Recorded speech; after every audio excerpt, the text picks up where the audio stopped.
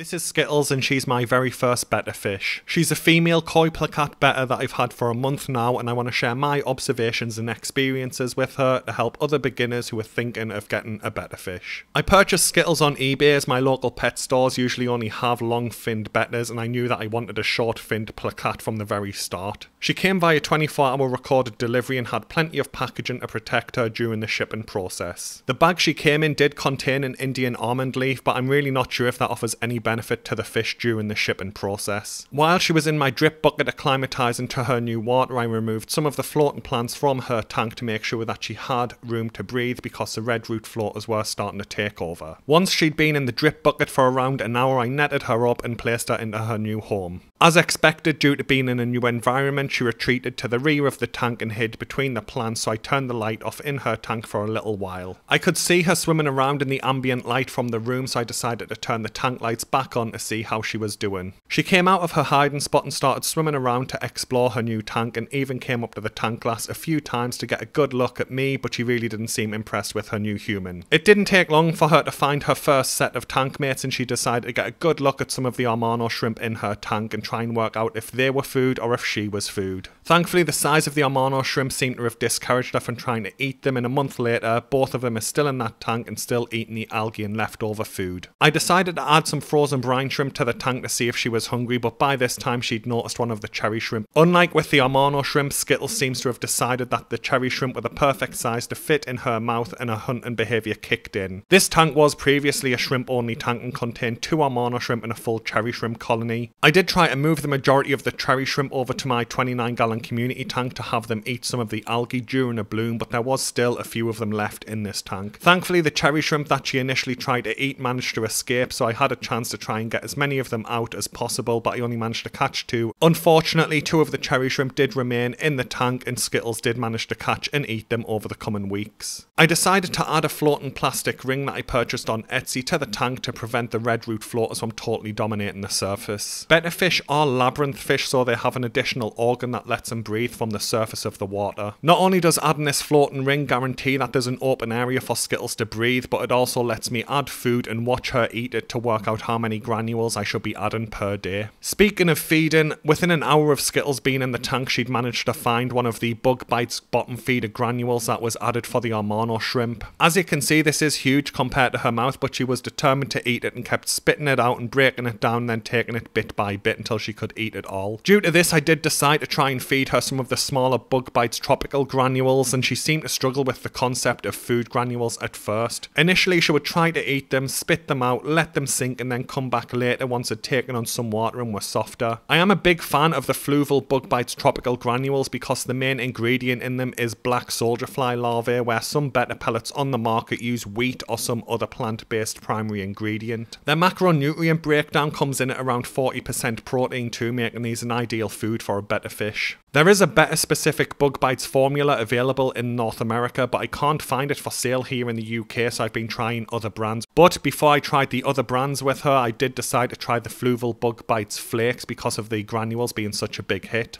Unfortunately, just like a lot of fish in my other tanks, Skittles just seem to stare at the flake food and then swims off after losing interest. So I tried some fish science Betta granules with her and she really did seem to enjoy them for about a week or two, but now she's lost interest and she usually sucks them in and then spits them out and just leaves them for the Amano shrimp to eat in her tank. Another food that I tried with her is the nanotropical formula from NT Labs. This is another food that's hit and miss with her though, and sometimes she'll eat it without issue, sometimes she'll spit it out and leave it for the Amano shrimp to eat.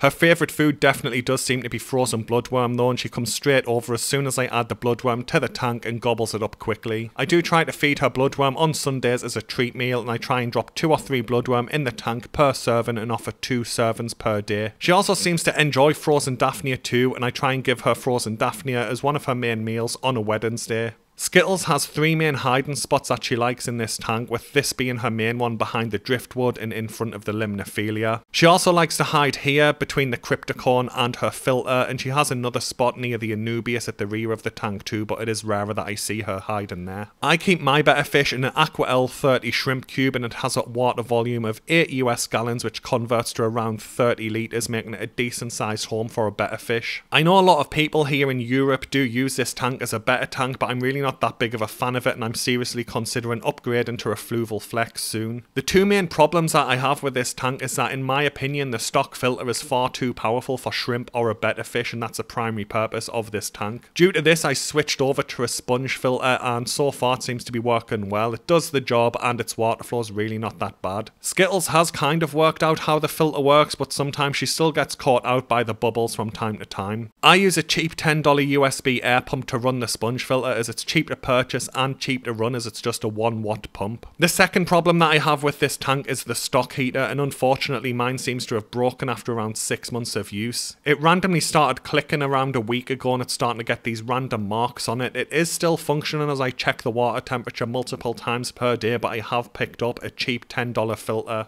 now, betta tank size is a controversial topic, but I plan to stick to tanks that are at least 8 US gallons or 30 litres in size moving forward for my bettas. This offers plenty of swimming space for the betta fish while also giving me plenty of space for live plants and hardscape in the tank. As you can see, my betta tank setup has several popular beginner friendly plants in there. Over in the back right of the tank we have Limnophilia sessiliflora and it's just been replanted in this tank so it has seen better days and it's still adjusting. On the back left we have some Java moss grown on some driftwood and at the base of that there is some Anubias nana petite grown. In front of that we have a cryptocorn and then some Java moss grown on driftwood to the centre of the tank and then to the right back of that we have another cryptocorn. Down in the foreground we have two small cryptocorn hobbits grown as well. I also like to add surface plants in all of my tanks especially for bettas though because it does help to add some top cover for the fish and it also helps to manage the nitrogen cycle in the tank. For this tank I went with red root floaters but I have Amazon frogbit in my 29 gallon community tank and Salvinia in my 12 gallon guppy tank and both of these would work well in this betta tank. Along with tank size, water parameters seems to be another area where there's some debate around what is ideal for a betta fish. I try to maintain a water temperature of around 77 degrees Fahrenheit or 25 degrees Celsius in this tank with a pH of around 6.7 and so far, Skittle seems to be doing fine. Just like all fish, ammonia and nitrite levels should be kept as low as possible, ideally 0 ppm, but in my opinion, everything over 0.25